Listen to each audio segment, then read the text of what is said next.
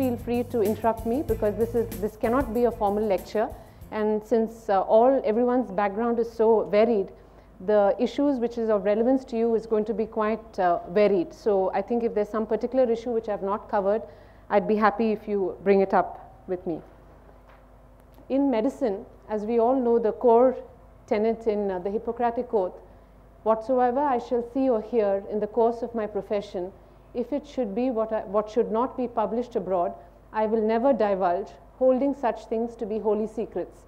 Now, this is a, an oath all of us doctors take when we, uh, uh, when we uh, get our degree. On one hand, we have the Hippocratic Oath, but on the other hand, you're dealing with doctors who are also human beings. And Benjamin Franklin really encapsulated it very well, saying that three people can keep a secret if two of them are dead. So, how do we uh, marry both these concepts? The definition of confidentiality is entrusting information to another with the expectation that it will be kept private. Why bother with confidentiality?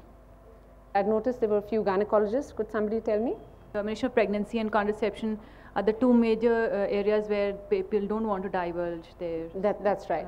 And why would you say that confidentiality is important? I mean, why would it, why would it be important to uh, protect confidentiality? It may have social implications of the, of which the woman are very scared. That's right. That, that's Okay. one major reason. So uh, the, the core uh, three points are uh, why we bother with confidentiality is that it obviously respects the privacy of uh, patients. It encourages them to seek medical care and discuss problems candidly. And probably in no other field is it important as in uh, HIV AIDS in, in today's world. Whereas if you feel that you're going to blindly inform partners without thought, uh, which sensible patient is going to come to your uh, setup for uh, you know, testing. So, but on the other hand, disclosure is important in certain situations, so we'll come to that. And the other important aspect of confidentiality is that it prevents discrimination based on medical condition, whether it is a social stigma associated with uh, a medical termination of pregnancy or uh, disclosing that you have HIV AIDS, uh, AIDS unnecessarily in the workplace, or even certain psychiatric conditions. The basic legal tenet is that legal action against doctors can be taken if confidentiality is broken unless it is required by law and if there is a duty to warn others. Uh, when you look at the literature in, in this area, I don't know whether it's fortunately or unfortunately, there is not much uh, information in India. As far as I know, um, no doctor in India has been taken to court for breach of confidentiality. Uh, when I discussed this with a uh, lawyer friend, what she said is that uh, people have been taken to court for defamation, which is uh, a, a different issue. But if you bring up something about medical treatment or medical condition which without the authorization of the patient, he could technically sue you for defamation. Abroad, in US, it is a big issue. In UK, it's also an issue. So the law is very clear as to certain situations where confidentiality can be broken and some situations where it cannot be. Now, there are certain issues which uh, people would need to be aware of. This concept of uh, privacy, that is the freedom of the individual to pick and choose for himself the time, the circumstances, and particularly the extent to which he wishes to withhold from others his attitudes, beliefs, behavior, and opinion.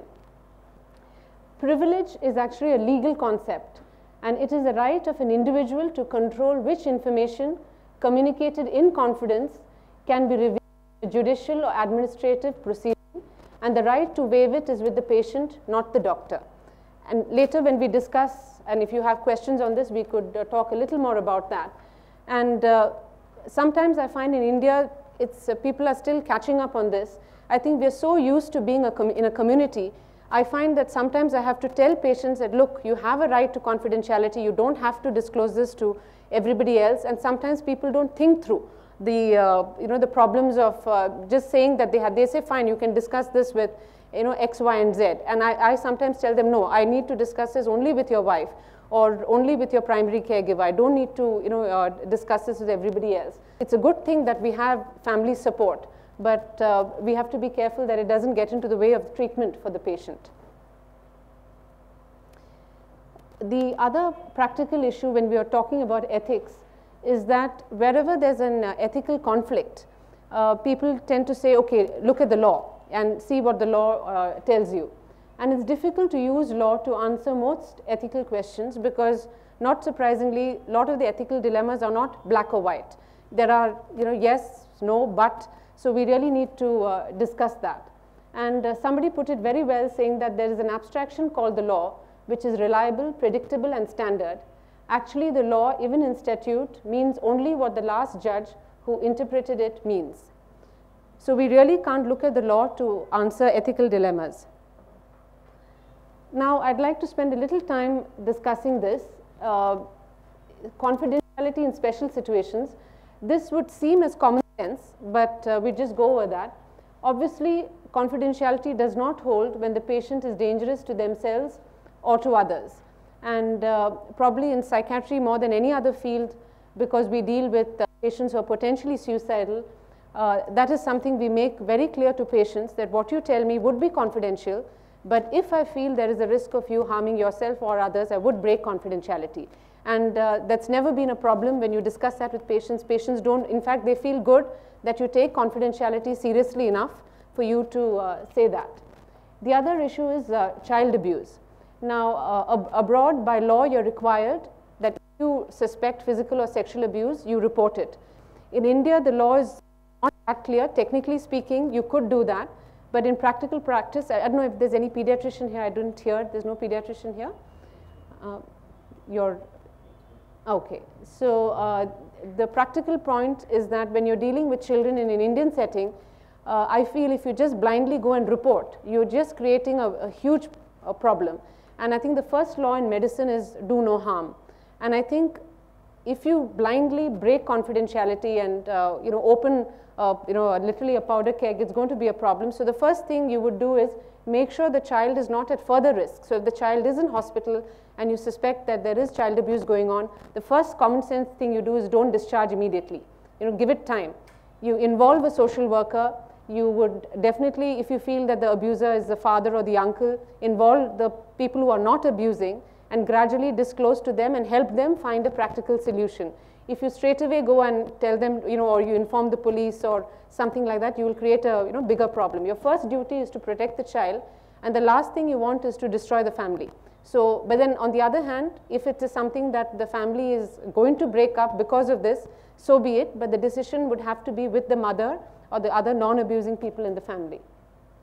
Then the other practical uh, point is with uh, HIV and uh, AIDS. Uh, I've noticed quite a few of you all are with, uh, working with HIV and AIDS. What is your opinion about uh, confidentiality there? We have had cases in our organization where there are would-be husbands or wives who do not wish to divulge their status and in such cases we resort to counseling Very in good. which the importance of revealing the status to the would-be spouse is uh, made uh, very important and if needed the person is also uh, uh welcome to bring along uh, the would-be uh, spouse uh, for counseling. So that there's joint counseling. The implications of uh, marrying a person with HIV AIDS is also discussed. And people are advised what they should do or should not do when they adopt a high risk behavior. So confidentiality is very important in these cases. Of course there are many cases in which people feel that when they go to other some other government hospitals or other places where their confidentiality is infringed upon. But by and large confidentiality is an issue that has given a lot of uh, importance. Yeah, absolutely. As we said right at the beginning, uh, confidentiality really allows you to treat properly. So if uh, you get the, uh, the, uh, uh, the reputation of not keeping confidentiality, people are unlikely to come back to you. I think you wanted to add something? Yeah. In continuation of what she said about the confidentiality, I mean, our experiences also have been, you know, when some of the trials which have been taking place in government hospital, in that specific unit, all confidentiality was taken. But with this person, patient required some help from other department in the other departments in the hospital. The doctor would not write any kind of a mark that it is HIV positive or anything. But the very fact that they have come from that, that itself brings in a lot of stigma with that. So we were really discussing how best we can reduce this kind of a conflict. Because, oh, you are an HIV positive person, then we will take you right in the end. So those are the kind of difficulties. So one unit has already taken care of all the confidentiality matter, but the moment the it is referred to another, yeah, so those kinds of things really become quite a challenging thing. And we need to see how best, as a part of trial participants, how we can really overcome those kinds of challenges. Okay. Uh, where would you place domestic violent victims and violence victims? Um, I think in my own experience with domestic violence, the reason it is very difficult to deal with is that uh, sometimes the women don't want to take a stand. Uh, in fact, uh, it's very strange that you say this because uh, I just saw somebody in OPD in the last one week where she was, uh, a person was brought by his employer saying that uh, he was referred from neurology because he was having some headache and the neurologist said uh, go to psychiatry. So he came to me with his wife and the employer and he basically gave some vague history of headache and some depression and the employer said no, no, admit him. So I said this doesn't warrant admission, we can treat as an outpatient. And I spoke to the wife and in psychiatry we make it a rule to initially speak to patient and the wife together and then speak to them separately just to make sure we don't uh, miss anything. And I spoke to the wife separately and she said there's no other problem. Then the employer came back and said, no, he's beaten, he beats his wife regularly and beats her black and blue. So I called her back and I said, uh, has that happened? She said, no.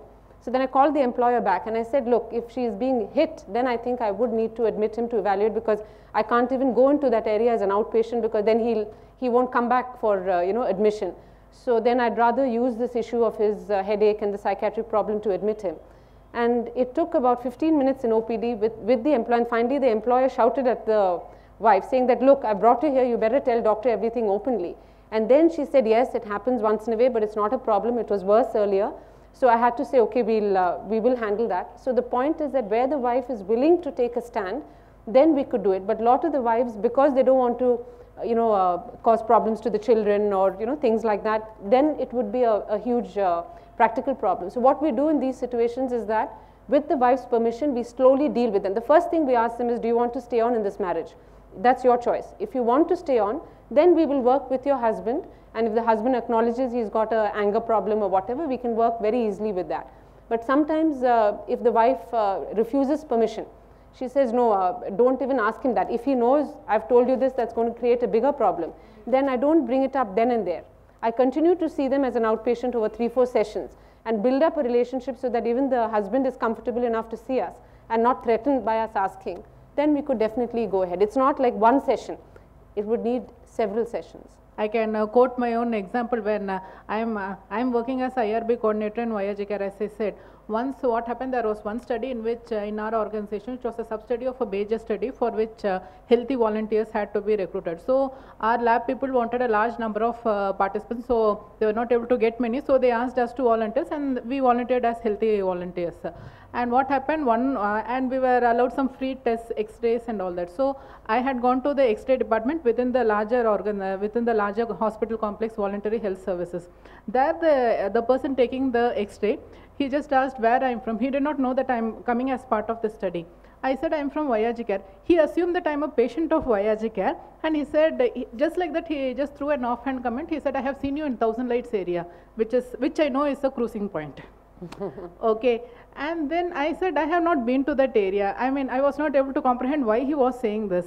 But uh, I mean, the way he looked at me and the way he uh, spoke to me, I mean, I was feeling sort of disturbed. Then I went back to my office and I told the administrative officer that uh, this person there, he, uh, he asked me whether I'm from Thousand Lights area after learning from uh, that I'm from YRG. Then the administrative officer got offended. He said, how can the lab technician of that hospital talk to the IRB coordinator of YRG like this? I'll immediately go and uh, make an issue about it. But he went and spoke to that person and gave him four warnings because here it is not the question of a staff of YRG uh, being uh, discriminated or anything, but uh, the fact that a patient from YRG can be um, treated like this. Yeah, uh, the issue of stigma and discrimination comes here also. And uh, the dirty looks that uh, are given when they know that a person is HIV positive or something, these things, uh, we have seen patients who say that outside when they go, they are being discriminated against. I, I think that is why it's important to keep confidentiality and uh, sometimes it's not possible to keep absolute confidentiality because of the nature of uh, you know the problem if you're taking as you from what you said like you had to say from where you are or somebody is, uh, you know, there's a cross referral. We'll come to cross referral issues later because where you're asking for a medical opinion, certain information would have to be divulged to, you know, ensure adequate medical care. So we'll sort of come to that point later. But I think what you've brought up is a very important point. But the other flip side of confidentiality, which I'll discuss in the next slide, is that sometimes patients refuse to give you permission to talk to the spouse? And how should you handle that? We'll come to that in a minute. Ma'am? And when we are involved in studies related to behavioral areas, the persons who are high risk populations like uh, sex workers, MSM, drug users, not disclosing about their sexual identity and also behavior. That is another area where we need to uh, take uh, importance with the confidentiality. If you're going to do a public health uh, kind of activity or surveys, you have to assure confidentiality because otherwise you'll not get the, the information you're looking for. So with HIV AIDS, uh, the American Psychiatric Association, they basically said that uh, doctors have a duty to warn partners uh, provided the patient has been encouraged to provide the warning himself, has failed to do so, and is informed what information will be shared and with whom. Now, the reason the American Psychiatric Association took this stand is that they found that uh, up to 33 percent of uh, HIV patients, HIV positive patients, uh, because they are otherwise physically healthy, they, they sometimes manifest subtle signs of dementia, or depression. So often psychiatric, uh, the psychiatrist is the first uh, medical doctor to see them and ask for the HIV test. So that is why uh, the American Psychiatric Association has been very actively involved. And there the practical issue is that where a patient is uh, sexually active and refusing to tell his partner, what is the duty or the obligation of the doctor?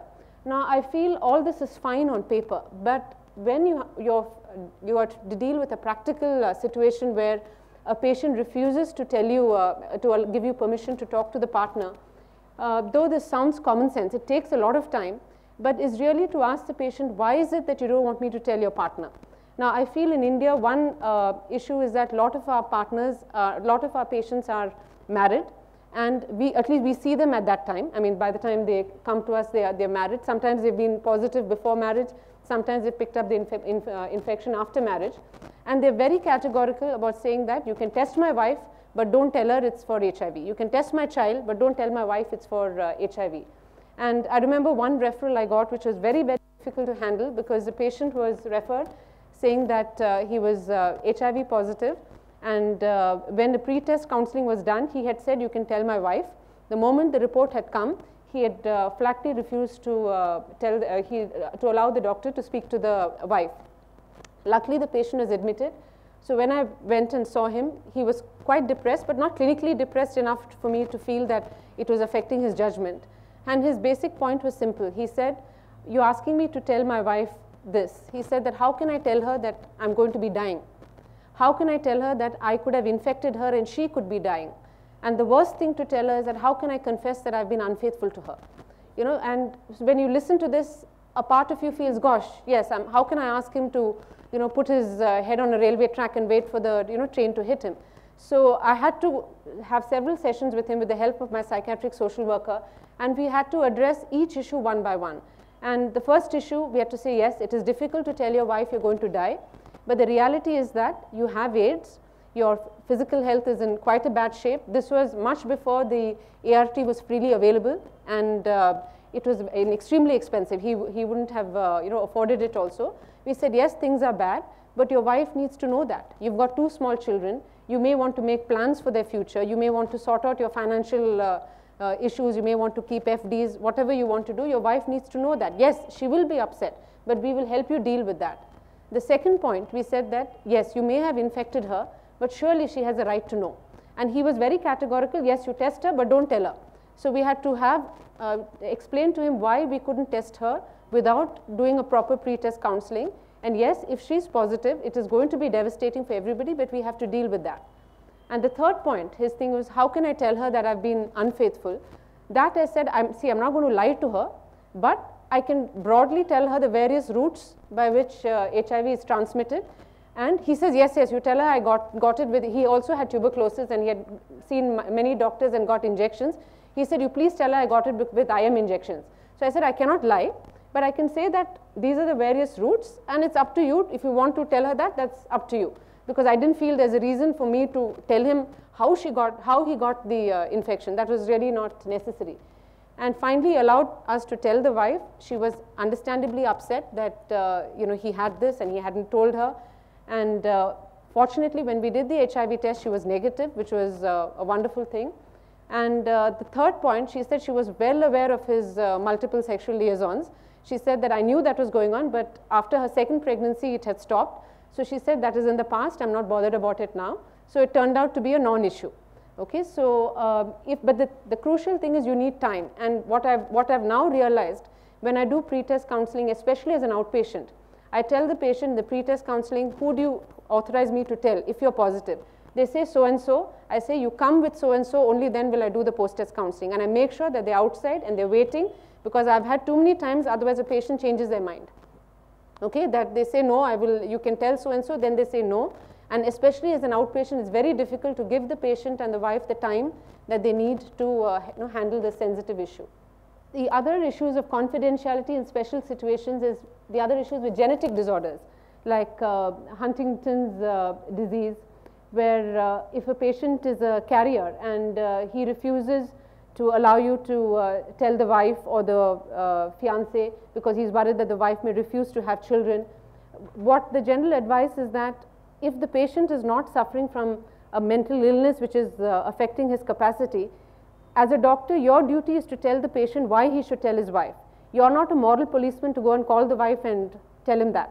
So what I would do is that I would record in the file that I have advised the patient to tell his wife or uh, tell his uh, fiance. And if they choose to do it or not do it, that is their issue because it's totally inappropriate for me to pick up the phone and try and call them or you know things like that. In, in fact, this is an issue not with genetic disorders so much as increasingly we are seeing now with patients with major mental illness like bipolar disorder and schizophrenia doing very well. In fact, uh, probably one of the good things of the uh, uh, tech boom in Bangalore is that a lot of our patients are rehabilitated very well. They work in quite, quite a few of the big companies and they're doing pretty well. But what happens is that if they have the illness before marriage, quite often the family doesn't want the, uh, the fiance to be told about this illness. And I find that it is quite important to spend adequate time with the patient to explain why it is important to explain about the illness and medication. And I find that a lo lot of my male patients are perfectly fine about telling their uh, fiancés. They do that and there's no problem. Uh, uh, with the girls who have problems, the results are a bit mixed. You know, uh, somehow the, uh, uh, the, the, the men who they're going to marry may not be that supportive. Some marriages have broken up. I mean, some engagements have broken up, but we do see increasingly a lot of young men who are perfectly comfortable to marry women with mental illness so long as it's disclosed and the patient is undergoing therapy and are stable. In fact, we do see some of them coming to see us as an outpatient clinic wanting to know the genetic risks and that is fine because the patient has given consent, has brought the fiance to see you and they want to understand everything before marriage, so that's no problem at all. Uh, the other issue is confidentiality when dealing with children. Now, this is a very, very difficult area and uh, sometimes I'm glad I'm an adult psychiatrist and not a child psychiatrist. And uh, the, the practical problem with children is that uh, what is said is that very small children uh, really don't have a sense of autonomy. Developmentally, autonomy develops in children gradually from the age of 12 to 15. And they've noticed that very small children, if you promise them confidentiality, they actually get more anxious. So, uh, and uh, so you have to work with what is needed, what has to be told, and there is, you can be quite directive about that. We don't have to be blind about confidentiality. And uh, with adolescents, it's a very, very tricky area. And uh, what is advised uh, is that uh, when you get information about certain risk behavior, like smoking or alcohol, you have to use your judgment. If you blindly tell, your, tell the parents the child is not, the adolescent is not going to come back to see you. If you, uh, and one example that's uh, given is that if you, uh, through your sessions with the child, you find out the child is uh, occasionally smoking some grass, you may feel, uh, I, am not going to tell the parents that. But if the child is using IV drugs, you may feel, definitely I'm going to tell parents that because that is there is a boundary, but what you, I'll come to how you breach confidentiality. There's a certain way you could do it without jeopardizing your uh, doctor-patient uh, relationship. The other huge problem is with cross-consultation. I think uh, uh you had mentioned that when there's a reference, you can do everything to maintain confidentiality. When you refer across to somebody else, they may not maintain confidentiality. So it's very important to uh, balance what information is needed by the doctor who's going to treat the patient. So if you're a, a psychiatrist and you've uh, referred somebody to the gastroenterologist for uh, uh, hematemesis and the patient says, please don't tell the doctor that I'm an alcoholic, you'll have to convince the patient that if, it, if you don't give that information to the gastroenterologist, he's not going to have adequate information. But suppose he says, don't tell the gastroenterologist that I'm homosexual, that may be reasonable because that has no bearing to what uh, treatment uh, the patient is going to receive. What I tend to do again in, in St. John's because we work in a, it's a general hospital. So uh, the system is that patients come for their psychiatry referral in an OPD card where uh, it's across all departments. So you can go to ENT with a ear infection and uh, they feel that you're depressed, they send you to psychiatry. What you write is not absolutely confidential because the next day if he has a rash because of your drug, he goes with that to the dermatologist. So you have to balance what information you write because I have to put enough information so that if the patient comes next time to see me, I know what I've done. Or if I'm on leave and my colleague is seeing, he knows or she knows what's going on. So what I've devised is, I mean, what, what we do is that we write the relevant information which is not going to cause a problem. And if you pick up some sensitive issues like child sexual abuse or a family history or something that is relevant, you can say other relevant issues discussed. So I put that because that is for me a code that there is some other information there. And if some other psychiatrist is going to see the patient a month from now, they will know, yes, childhood events important. There may be something there and you know, they would ask that. So you need to be uh, careful about what information is uh, divulged there. The other issue is confidentiality in writing and speaking. I suppose the person who's talked about research, I don't know whether they've talked about this, is that uh, case reports. Uh, it is very important that uh, the information is sanitized so that uh, the, you can't identify the patient from the demographic details that you've put. And what a lot of journals, international journals in, request you is to get a written consent by the patient who has seen your, uh, uh, the case report that you've written. Okay, he needn't see the discussion because I remember once we had written a case report on uh, a particular side effect, a very rare side effect the drug caused in a patient who was manic. And in him, confidential, uh, the getting consent was not a problem because he was manic. So he said, you write about me, you publish it anywhere, it's going to help the world, you know, that is fine. So that was not what we call an informed consent. So we had to wait till his mania settled and to protect him, we made sure that we talked to his father also, that the father had no objection to that. And when we wrote the abstract, we showed it to him, got his signature. We didn't show him the discussion because we thought the discussion was not relevant to him. And we felt that that had a lot of theoretical issues which actually might worry him because of the drugs you know, he was on. So uh, that is what is recommended in terms of uh, confidentiality in writing and speaking. And uh, speaking in, in, things like, for example, if you're doing a lecture or if I'm giving you an anecdote about a patient, what is always, uh, again, this is common sense that uh, we don't use personal details which makes the person identifiable. Uh, if we do happen to have some VVIP patient that we don't discuss that person so that, because that makes it very easy for confidentiality to be broken. Another practical area is with medical education where all of us have to uh, balance the need for uh, educating students, for making sure they get the information about patients, but on the other hand, uh, balancing patient rights. So a simple thing we all do, and I'm sure you do, is asking the patient for their consent. And uh, in my experience, I find 99% of patients, uh, of, uh, of patients are absolutely thrilled to talk to medical students and to discuss about their problems, and they're happy that others are going to learn from them. But a few patients who say no, we have to respect that. A huge practical problem now in clinical practice is information to third parties. Now, uh, there again, you have to go case by case. And another practical problem, for example, in St. John's is uh, patients whose bills are paid by the company. So uh, what, right, uh, what information can be divulged?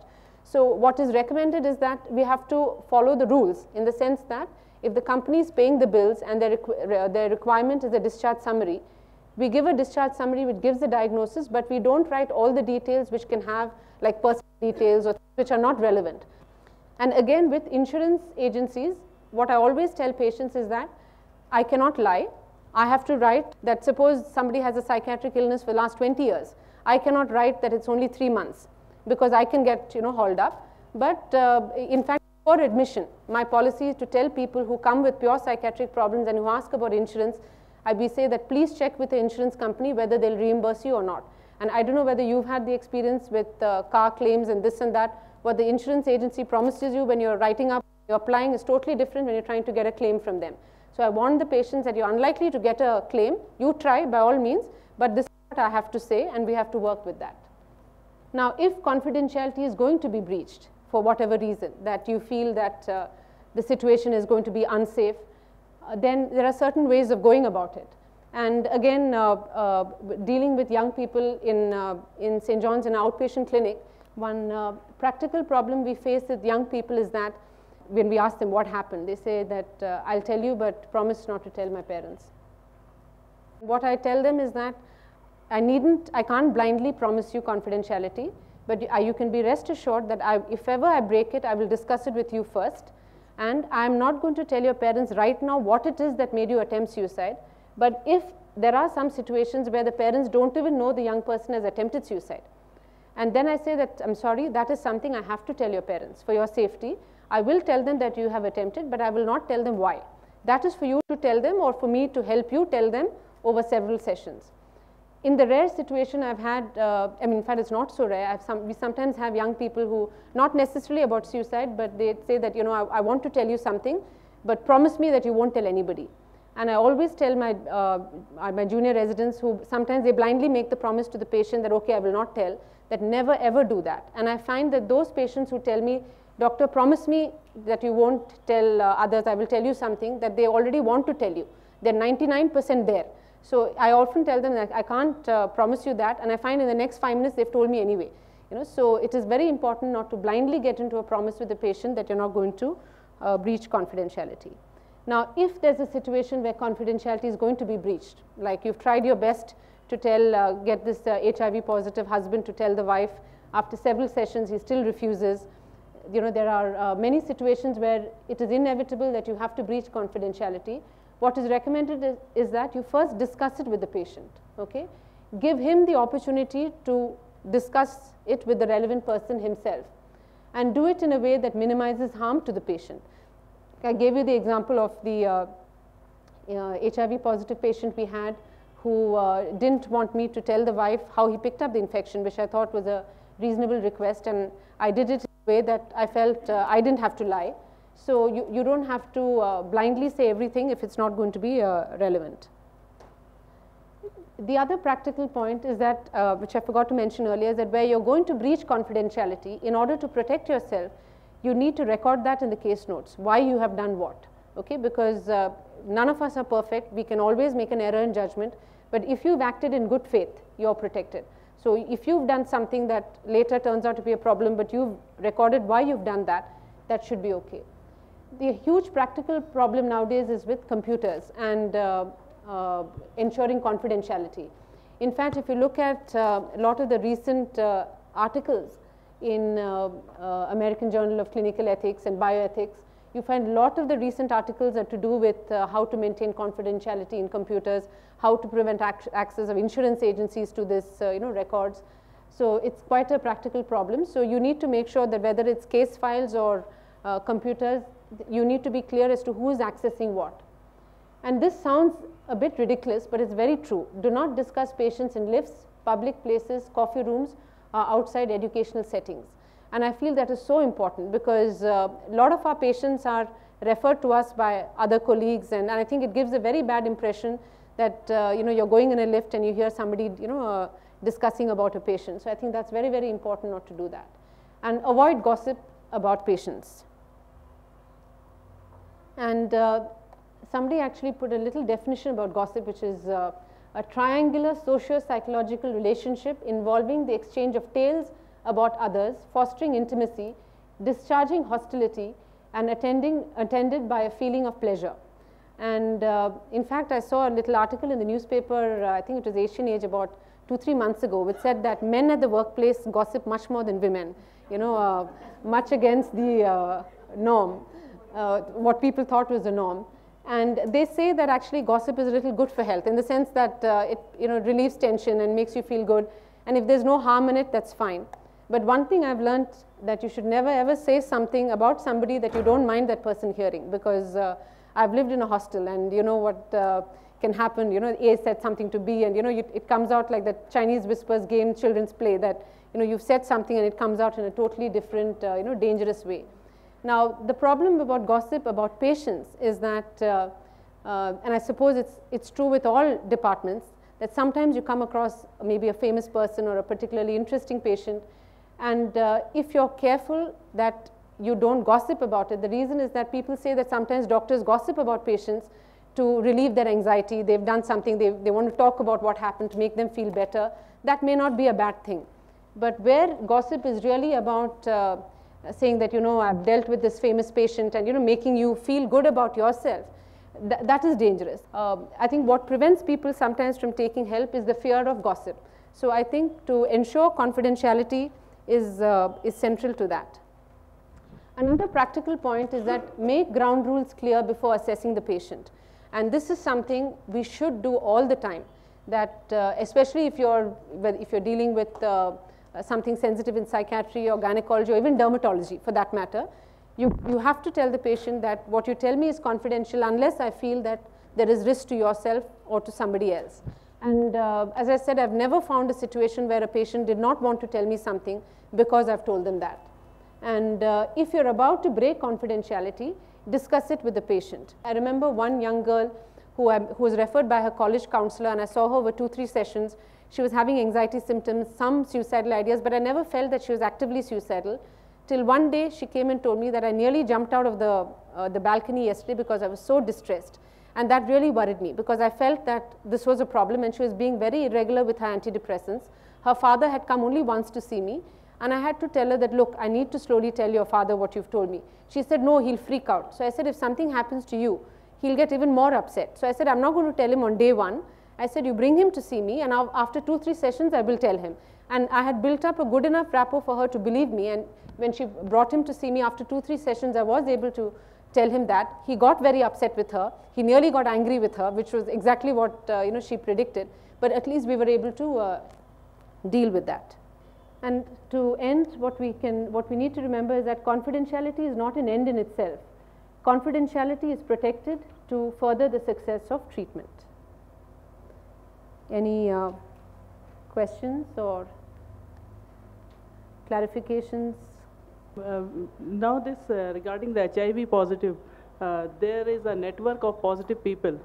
Uh, now in uh, almost all the districts have this network. Hmm. So whenever you get a person uh, tested HIV positive, that person is now referred directly from VCTC to uh, network of positive people Mhm. because in most of the districts we don't have ART centers Okay. and this ART is arranged by the network of positive people like for Allahabad Varanasi has the ART center so these network of positive people they take the uh, HIV positive persons to uh, Varanasi for the ART and like in this January, we organized a workshop of uh, on HIV awareness for uh, pilgrims and uh, uh, religious leaders who were attending the Ardh Kumbh fair at Allahabad.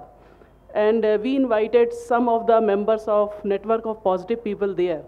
And they, were, they attended all the three days. These people were there with the religious leaders.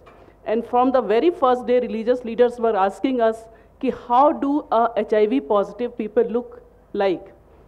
as if they have a tail or horns or something. Then I told them that we have some positive people between you, and it is you who have to identify who are they. Then in the last session, then we asked the positive peoples that you come and address these sessions. Then they came and addressed those uh, religious leaders, and they were surprised that they were with them, they were eating with them, they were living with them, and they had no idea that these people are HIV positive. Yeah, I, I didn't talk about uh, group confidentiality, but that is something which is a huge problem area because unfortunately, I mean, what you, what you did was fine, because, and then I'm sure the patients knew what they were doing and they were, you know, agreeable to that. But uh, we have, uh, the advice is that if you're doing some kind of work in a group, you have to tell all the members of the group that confidentiality is very, very important and they need to know the ground rules. And unfortunately, you cannot ensure it because uh, how can you do that? If there are some 10 people in a group, you can't really, you know, ensure that. So uh, what they do recommend is that all you can do is tell the, all the individual people very carefully that it's very important that you don't uh, disclose this to anybody else because, and sometimes people don't do it then and there. But after two years, you meet somebody at a wedding function, you know, you, it, it can just slip out that, oh, so and so has HIV. So you, everyone has to be aware that there is no absolute privacy in that. You, you can't guarantee that. If you're with the patient on a one-to-one, -one, from your side, you can guarantee confidentiality. If there are 10 people in a group who are HIV positive, you cannot guarantee that one person is not going to talk about the other. So people in the group have to be okay with that. Ma'am, uh, this is something related to traditional medicine. Yeah, tell me. As you were telling that you are very new, but in fact, I'm listening to you for the second time. Okay. anyway, uh, this is related to the medicines what we have in uh, Ayurveda. Ayurvedic. Like we have certain medicines wherein it's labeled like it contains uh, gomutra or cow's urine.